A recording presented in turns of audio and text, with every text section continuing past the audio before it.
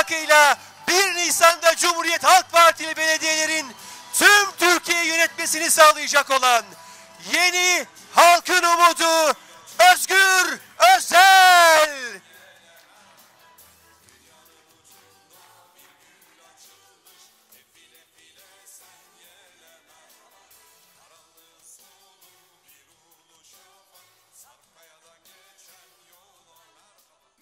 Merhaba, merhaba Selçuk, merhaba Efes Selçuk, merhaba Selçuk'un alnının terini toprağa damlatan, oradan bereket fışkırtan, o bereketle çoluğunun çocuğunun rızkını kazanan, haramdan ve yalandan korkan, kalbinde yüreğinde vatan, millet, bayrak ve Atatürk sevgisi olan Selçuk'un güzel insanları.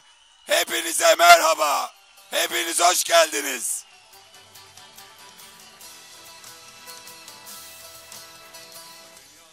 Bugün bugün İzmir'deydik. Yarın memleketim Manisa'dayım. Denizli'deyim. Yoğun bir tempo içindeyiz. Ama biraz önce sevgili başkanımızın da ifade ettiği gibi ben bir yeri sevdim mi severim. Bir yere bağlandım mı bağlanırım. 2019 seçimlerinde sizlerden bir şey istemiştim. O zaman belediye bizde değildi. O zaman işimiz kolay da değildi. Ancak bir cumhuriyet kadınını inandığımız, güvendiğimiz partinin bir evladını Atatürk ilke ve devrimlerinin yılmaz savunucusu bir temsilcisi Cumhuriyet kadınını elinden tutup havaya kaldırıp size emanet etmiştim. Siz de emanetimize sahip çıktınız. Sağ olun, var olun.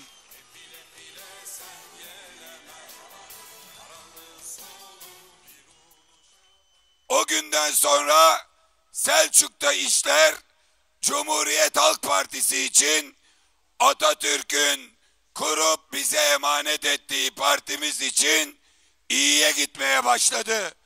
Bugün geldiğimiz noktada Selçuk'ta o günkü bulunduğumuz yerden çok çok ileri bir noktadayız.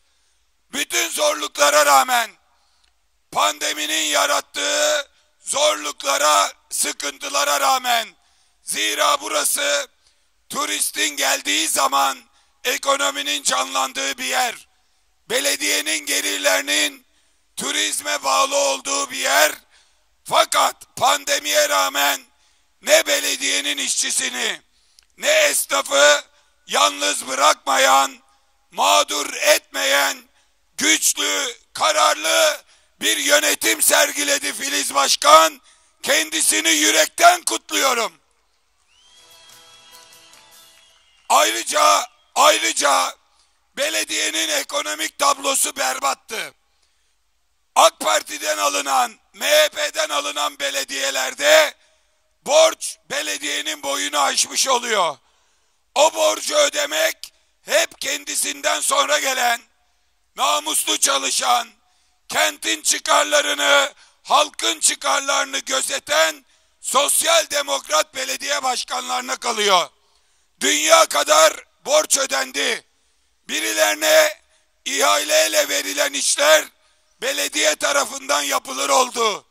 İsraf bitti, yerine hizmet geldi ve o günden bugüne Filiz Ceritoğlu Şengel Selçuk'ta yaptıklarıyla hem size verdiğiniz oyu helal ettirdi hem de partimizi bizleri onurlandırdı, gururlandırdı. Ona güvenen kimsenin güvenini boşa çıkarmadı. Kendisini yürekten alkışlıyorum. Yürekten tebrik ediyorum. Tabii bazı şeyler kolay olmuyor.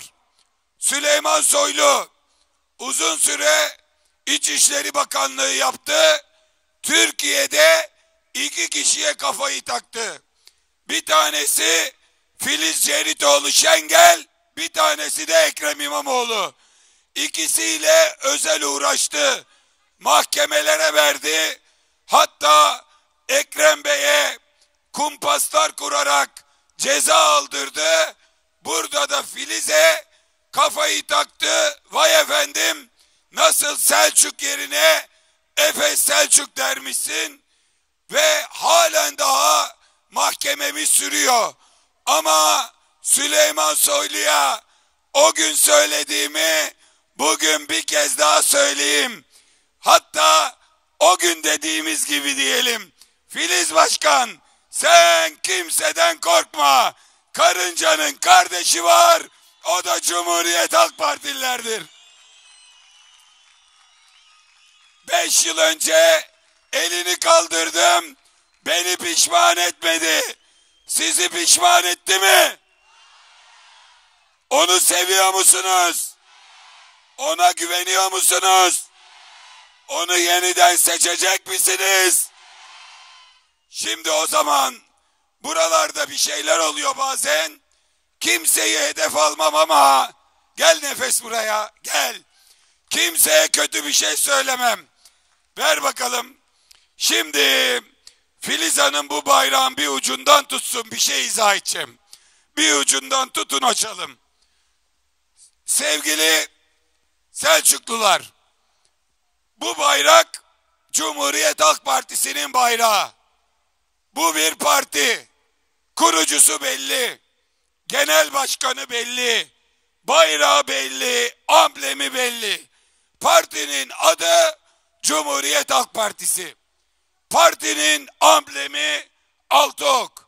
Partinin mevcut genel başkanı Özgür Özel, partinin kurucu genel başkanı Gazi Mustafa Kemal Atatürk. Kurucusu Atatürk olan, genel başkanı Özgür Özel olan, amblemi altı ok olan, adı Cumhuriyet Halk Partisi olan bu partinin bir de adayı var. Selçuk'taki adayı işte burada. Filiz Ceritoğlu Şengel. Dahası yok. Genel başkan olarak söylüyorum.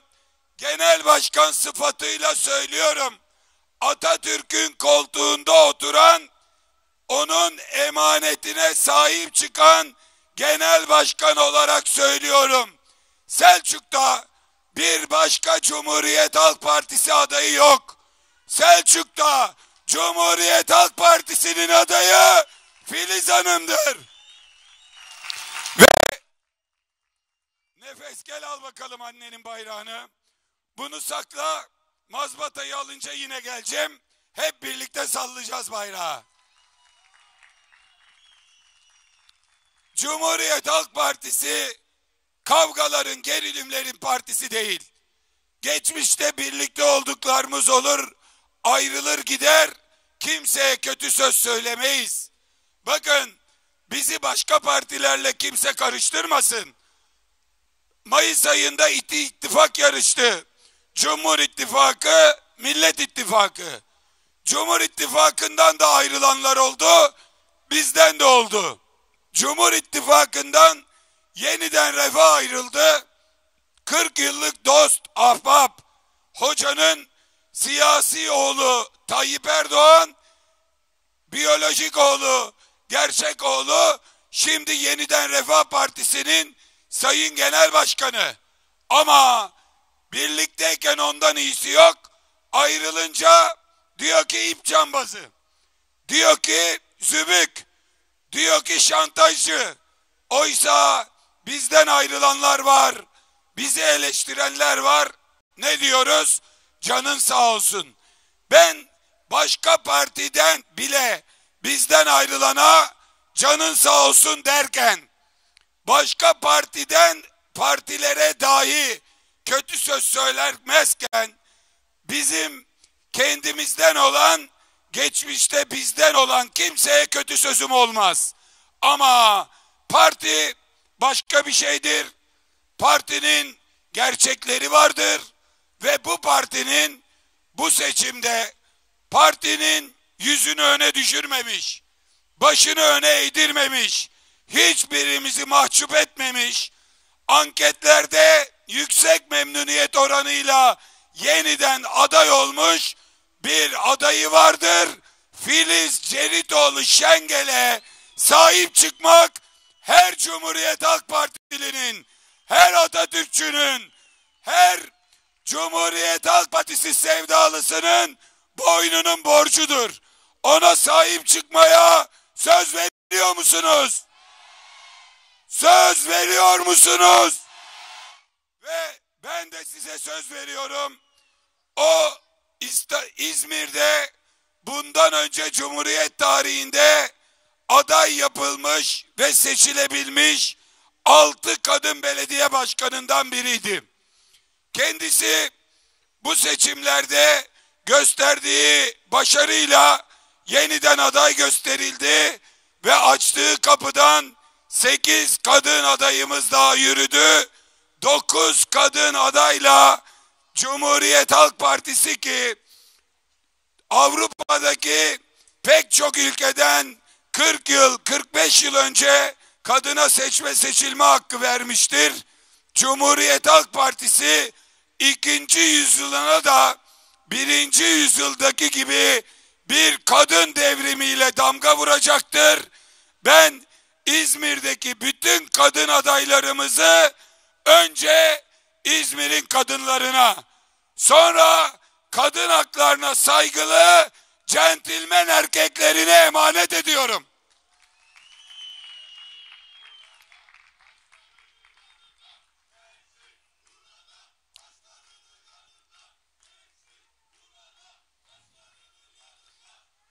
Değerli değerli Selçuklular bundan sonraki süreçte elbette çok birlikte olacağız.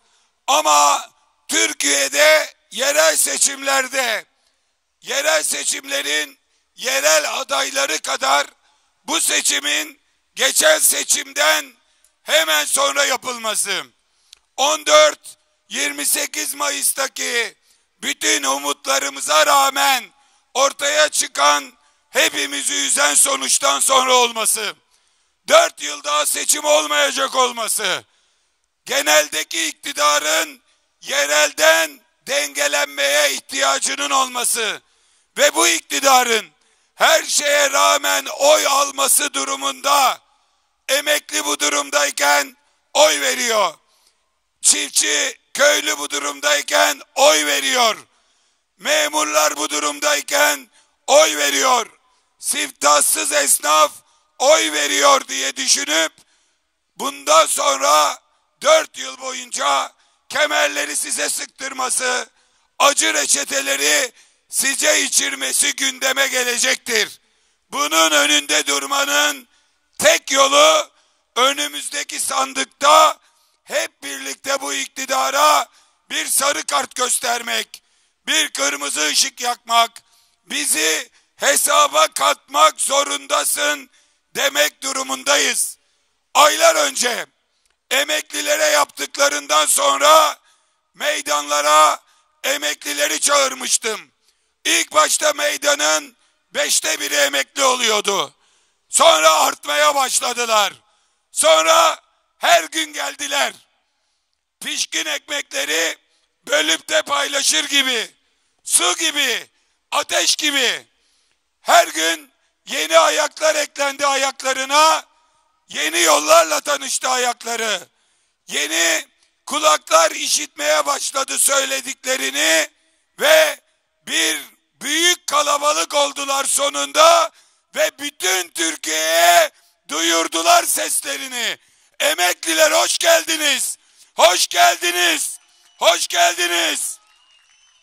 Şimdi bayrakları indirelim. Emekliler bir el kaldırsın görelim emekliler. Hoş geldiniz hepiniz. Söz verdiğim gibi birlikte mücadele edeceğiz ve sizin hakkınızı söke söke alacağız. Söke söke alacağız. Tayyip Erdoğan geldiğinde en düşük emekli maaşı bir buçuk asgari ücretti.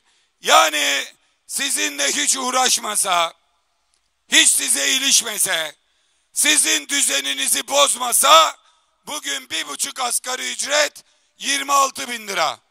Ama dedi ki ben emeklilere enflasyona ezdirmeyeceğim, enflasyona göre zam vereceğim ve TÜİK'e soracağım. TÜİK ne demek? Neyin kısaltması? Tayyip'i üzmeyen istatistik kurumu. Maalesef.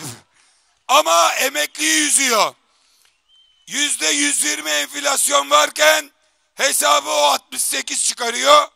Tayyip Bey de yapa yapa emekliye zammı yüzde 33 yapıyor.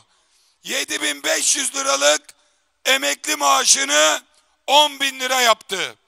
Bugün bu meydandakilerin çok önemli bir kısmı 10 bin lira maaş alıyorlar. Ve en düşük emekli maaşı bundan 20 yıl önce, 21 yıl önce Adalet ve Kalkınma Partisi geldiğinde tam 8 çeyrek altın alıyordu. İnanmayan gitsin, yarın kuyumcuya sorsun. 2002 yılında en düşük emekli maaşı kaç para? O zaman çeyrek altın kaç para? Tam 8 çeyrek altın alıyor. Bugün ise size verilen 10 bin lira iki buçuk çeyrek altını zor alıyor. Yani beş buçuk çeyrek altın kayıp. Bir emekli bir çeyrek altın kaybetse, cebinden düşürse, çantasına koyuyorum diye düşse, eve gitse baksa, o çeyrek altını bulamasa deli çıkar, aklı çıkar, gider her yerde gezer değil mi? Bir çeyrek altın düşürsen bütün Selçuk'u aramaz mısın? Ararsınız ama her ay bir emekli değil, her emekli. Bir sefer değil, her sefer, her ay. Bir çeyrek altın değil, beş buçuk çeyrek altın kaybediyor. Bunu nerede kaybettiniz? Bir seçim sandığında kaybettiniz. Kaybedilen bir şey yitirildiği, düşürüldüğü yerde bulunur. Kaybettiğinizi aramak için 31 Mart günü sandığa gidecek misiniz? Bunun hesabını soracak mısınız? Hakkınızı arayacak mısınız? İşte o zaman Hanya'yı da Konya'yı da görecekler. Çünkü emekliye yapılan kimseye yapılmadı. Bakın buradan hatırlayalım, analım, selamlayalım. 2015 yılının 7 Haziran'ında birisi çıktı dedi ki ben iktidar olursam emeklilere iki bayramda birer ikramiye vereceğim.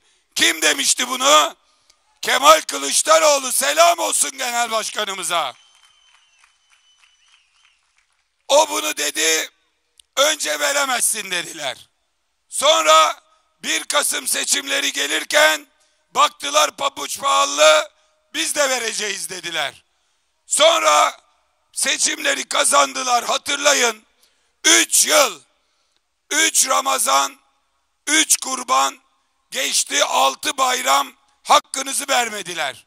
Ne zaman 2018 seçimleri geldi çıkardılar bin lira verdiler. Biz o zaman itiraz ettik. Dedik ki emeklinin hakkı bir maaş ikramiyedir. Bin lira yetmez yeter dediler. Sevgili emekliler değerli büyüklerim o gün o verilen bin lira 24 kilo kıyma alıyordu. Bugün size ikramiye diye 2 Nisan'da verilecek 3 bin lira sadece 6 kilo kıyma alıyor. Bakın hesap ortada 6 yılda emeklinin sahur sofrasından, iftar sofrasından, bayram sofrasından, torununun çocuğunun kursağından tam 16 kilo kıymayı buzdolabınızdan mutfağınızdan aldılar çaldılar. Sadece emekli ikramiyesindeki kaybımız mı bizim? Bu iktidar emekli düşmanıdır. Bu iktidar yoksullaştırmanın, orta direği fakirleştirmenin, emeklileri bir yük olarak görmenin ve onları tüketmenin peşindedir. Şimdi biz bir buçuk aydır bağırıyoruz. Şükür siz de koştunuz, geldiniz, meydanları doldurdunuz. Şükür diğer partiler de konuşmaya başladı. Diğer liderler de konuşmaya başladı. Ve biz bunu ilk söylediğimizde Türkiye yüzde dört buçuk büyüyor. Emeklinin keyfi yerinde. Özgür Efendi emeklileri kışkırtıyor. Bu oyuna kimse gelmez diyordu. Ben de o gün dedim ki bu şartlarda, bu fiyatlarla, bu hayat pahalılığıyla bu emekliler Özgür Özel'in kışkırtmasına kaldıysa vay hallerine. Ama gerekiyorsa elbette anlatacağım. Kışkırtmaksa kışkırtacağım. Yanlarında durmaksa yanlarında. Arkalarında yürümekse arkalarında. icap ediyorsa önlerine düşeceğim. Ben bu hakkı alacağım. Yok öyle artık bedava siyaset. Yok öyle beşli çeteye parayı buluyorsun. Yol müteahhitine buluyorsun. Saray müteahhitine buluyorsun. Uçan saraya para var. Yazlık saraya para var. Kışlık saraya para var. 1500 odalı saraya para var. Emekliye gelince, emekçiye gelince, esnafa gelince, çiftçiye gelince para yok. O zaman sana da oy yok. Bir daha oy yok. Bir daha oy yok. Biz biz yoksulların yanında emeklilerin, emekçilerin, çiftçilerin, esnafların yanında duracak sosyal demokrat bir partiyiz. Bu parti, bu parti herkese kapısı açık olan bir partidir. Bakın ben Cumhuriyet Halk Partisi'nin ilçe binasına gittiğimde baba ocağına geldik derim. Çünkü herkes, hepimiz baba ocağına doğarız. Kimi büyüğünü arzular gider. Kimi küçüğüne razı olur. Kimi Irak'ta oturur, kimi yakında oturur. Ama herkes bilir ki bir gün başı sıkışırsa, dara düşerse baba ocağı oradadır. Çorbası kaynamaktadır. Bacası tütmektedir. Ve bir gün dönmek zarureti ortaya çıkarsa biliniz ki kapıları ardına kadar açıktır. Ha gelene de sen niye geldin? Sen geçenlerde niye gitmiştin? Sen gittin de bize neler ettin demeyiz. Çünkü sorsa ki tapusu senin mi? Tapusu ne bendedir ne Kemal Bey'de vardı. Ne Bülent Ecevit'te vardı Allah rahmet eylesin ne İsmet Paşa'da. Baba ocağı hepimizin içine doğduğu baba evidir. Tapusu bir kişiye kayıtlıdır. O da Gazi Mustafa Kemal Atatürk'ündür. O yüzden Atatürk'ün partisi, Atatürk'ü sevenler, onun yolundan, izinden gidenler için Atatürk'ün partisi, Atatürk'ün adayı işte 31 Mart'tan sonra ikinci kez seçeceğiniz belediye başkanı Filiz Hanım oradadır. Değerli değerli Selçuklular. Tabi sadece emeklinin değil köylülerin de büyük sıkıntıları var. Ülkenin ilk cumhurbaşkanı onlara milletin efendisi demişken son cumhurbaşkanı al ananı da git demektedir.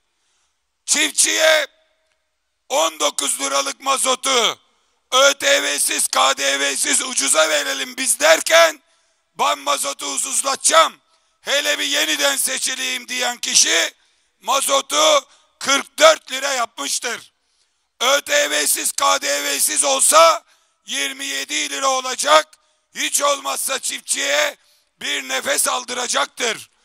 Çiftçilerin tarım kanunu gereği almaları gereken yüzde birlik doğrudan destekleme primleri 287 milyar tutmakta, 267 milyar tutmakta, sadece 85 milyarı ödenmekte, 170 küsur milyarı çiftçinin alacağı olduğu halde kur korumalı mevduatçılara verilmektedir.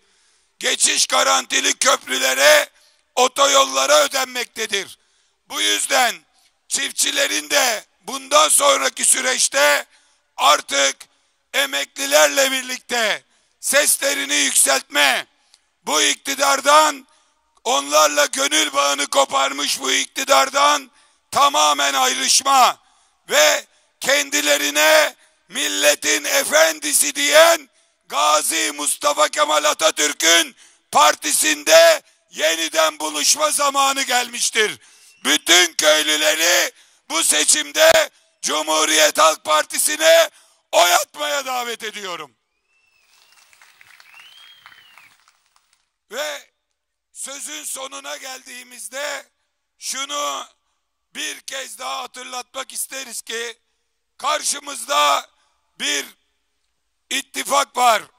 Adı Cumhur İttifakı görevleri korkutmak, tehdit etmek, şantaj yapmak, sindirmek, kötü söz söyleyerek toplumu kutuplaştırmak. Biz kutuplaştıranlara inat, kucaklaşmaya geliyoruz. Biz şeytanlaştıranlara inat, kardeşleştirmeye geliyoruz. Biz umudun, sevginin ittifakıyız. Ve ittifakımız gücünü milletten, renklerini ay yıldızlı al bayraktan almaktadır. Bizim ittifakımızın adı Türkiye İttifakı'dır. Türkiye İttifakı milli takım gol atınca sevinen herkestir. Filenin sultanları şampiyon olduğunda onlarla birlikte gözyaşları içinde İstiklal Marşı okuyanlar Türkiye İttifakı'nın ta kendisidir. Selçuk'taki sosyal demokratları, Selçuk'taki milliyetçi demokratları, haramdan yalandan bıkmış muhafazakar demokratları, Selçuk'ta Kürdüyle, Türküyle, Lazıyla, Çerkeziyle, yerlisiyle, göçmeniyle, yüreğinde vatan, millet, bayrak sevgisi olan herkesi Türkiye ittifakında birleşmeye davet ediyorum. Ve ittifakımızın renklerini hep birlikte bütün Selçuk'a haykıralım. Kırmızı, kırmızı, kırmızı, en büyük, en büyük, en büyük. Selçuk'ta Filiz Ceritoğlu Şengel kazanacak, Selçuk kazanacak. Cemil Tugay kazanacak, İzmir'de Cemil Tugay kazanacak, İzmir kazanacak. Türkiye'de Türkiye ittifakı kazanacak, Türkiye kazanacak. Hepinize güveniyorum. Hepinizi seviyorum. Ve beş yıl sonra bir kez daha daha büyük başarılar, daha büyük görevlere yürümesi için Filiz Ceritoğlu Şengel'i kendi kızınızı, sizin evladınızı, partimizin adayını, bir cumhuriyet kadınını bir kez daha kuvvetli alkışlarınızla sizlere emanet ediyorum.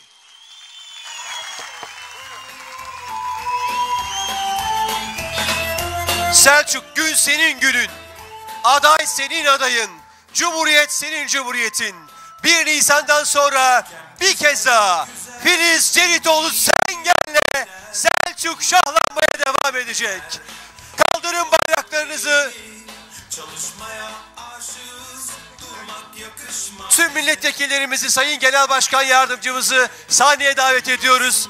Selçuk'la bu coşkuyu hep beraber yaşayalım.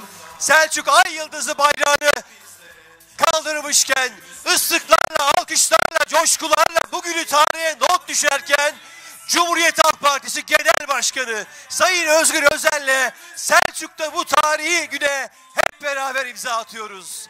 1 Nisan'dan itibaren tüm Türkiye'de Türkiye İttifakı'yla, Selçuk'ta Selçuk İttifakı'yla, Feriz Ceyitoğlu Sengel, İzmir Büyükşehir Belediyesi'nde Cemil Tugay'ı yeniden belediye başkanı yaparak İzmir'e, Selçuk'a, Türkiye'ye sahip çıkıyoruz. Teşekkürler Selçuk. Elleriniz, ayaklarınız dert görmesin. Türkiye İttifakı'nı Selçuk'ta gerçekleştirdiniz.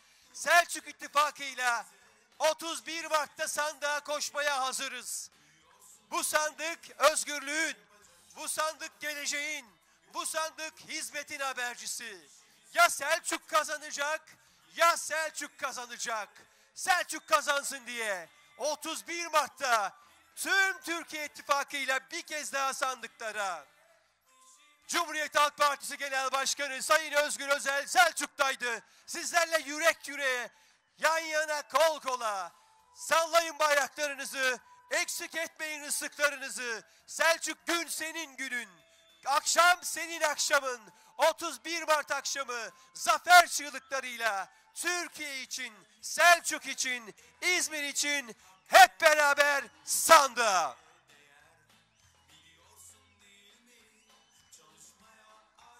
Katılan gelen emeklerimize, gençlerimize, çocuklarımıza teşekkürler, teşekkürler, teşekkürler. Bugünü unutmayın. Selçuk'un zaferine atılan imza bugün oldu. Sağ olun, var olun.